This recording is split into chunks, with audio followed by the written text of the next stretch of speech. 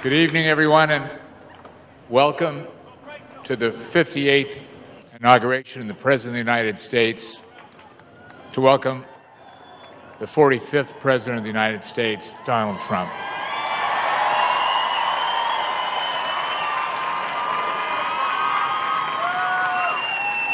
I have to tell you, this is the most incredible setting of structures that I have ever seen, at least of those that President elect Trump has not built. But, you know, when this started, an inauguration is a typically American event, and it's the only time in the world that you have this passage of partisan power that transpires in the snap of a finger. Tomorrow at 1127, when the president elect, his wife, and his family are sitting on the west end of the mall looking at us.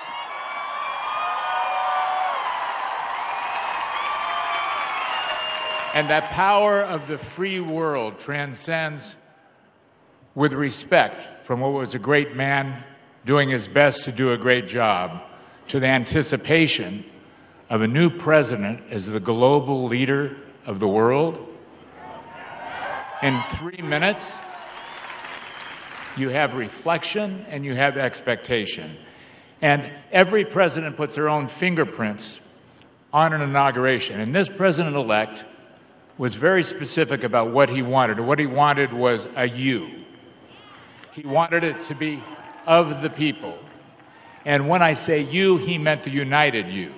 And set in this setting, of this reflection pond that sits between three unbelievable monuments of three of our profound leaders. And what you see are these incredible stone, beautiful, incredible tributes that stand above us for the purpose of reflecting, of thinking, of what was it, what went before them. But what really stands out, and you can hear it in the silence amongst you at the moment, is the mortar. Not the stone, not the granite, not the marble. It's the thousands of lives, it's the millions of hopes, it's the 10,000 aspirations of all the people, of all the themes that went into these great men. And along the road, we've had 45 men that have left their footprints and their fingerprints throughout the mortar and in the middle of this tidal basin. So, as you reflect on those who came before us, and as you have expectations before you, I would like you to pay a tribute to the courage, to the stature, to the strength, to the commitment, to the loyalty of a man who is going to lead you with his footprints to diversity, to put the campaigns behind us, to unite behind one man as one America He will show the rest of the world that we can argue, we can fight, we can debate, and tomorrow at 11:30 we're one country and he will be the 45th president of the United States of America, Donald Trump.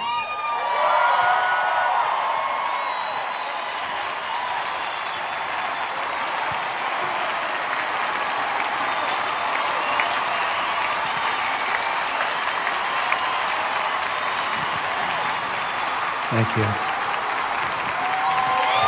Thank you very much.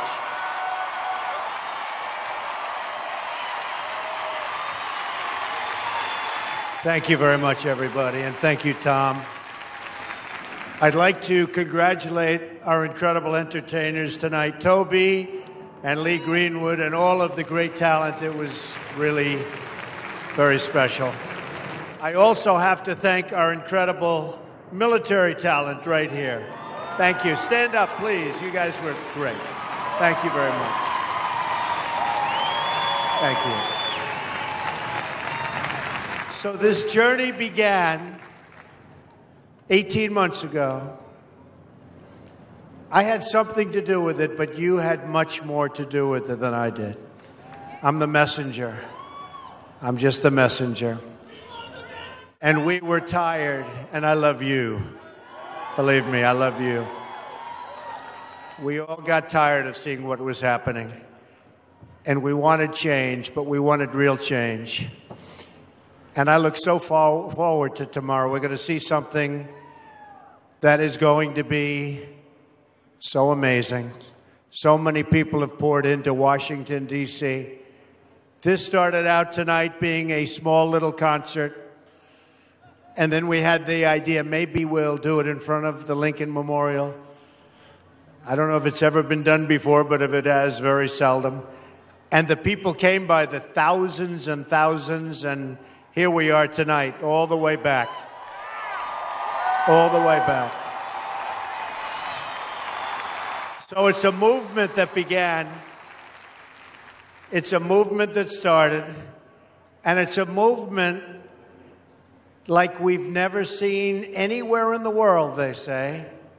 There's never been a movement like this. And it's something very, very special. And we're going to unify our country. And our phrase, you all know it, you, half of you are wearing the hat, make America great again.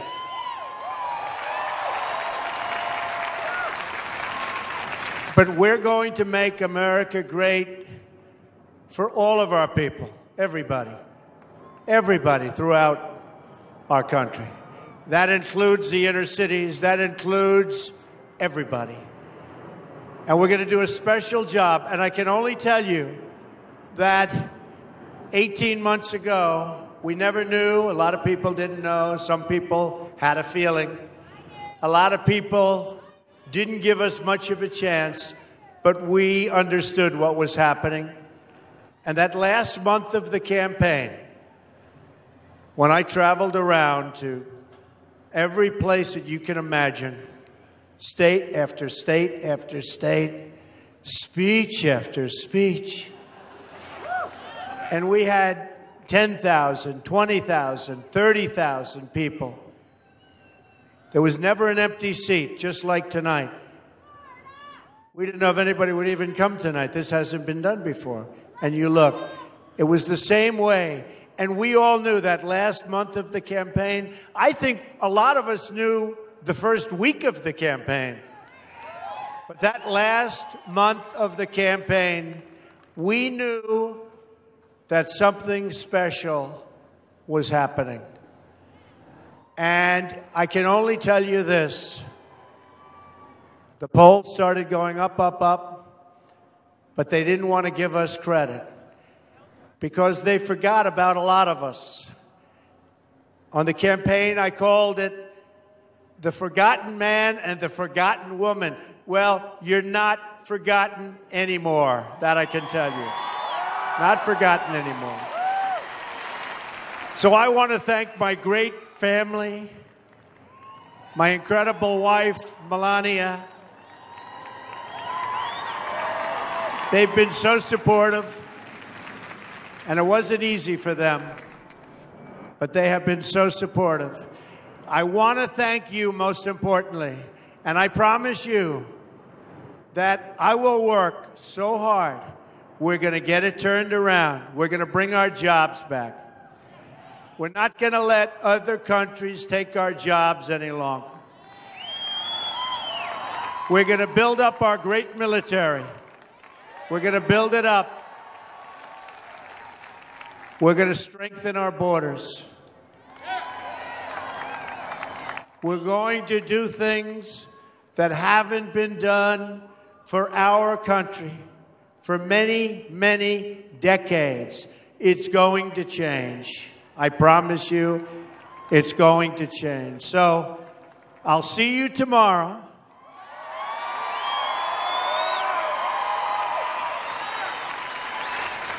And I don't care, frankly, if it's going to be beautiful or if it's going to rain like crazy. Makes no difference to me. I have a feeling it's going to be beautiful. But I will see you tomorrow, and I'm going to be cheering you on. You're going to cheer me on, but I'm going to be cheering you on because what we've done is so special. All over the world, they're talking about it. All over the world. And I love you, folks. And we're going to work together. And we are going to make America great again. And I'll add, greater than ever before. Thank you very much and enjoy the fireworks. Thank you, everybody. Thank you.